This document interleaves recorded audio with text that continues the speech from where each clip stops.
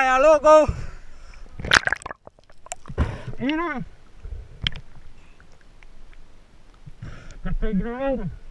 Viste, loco, se chorreó la varita y Sí. que apretar el gatillo que se iba a ir.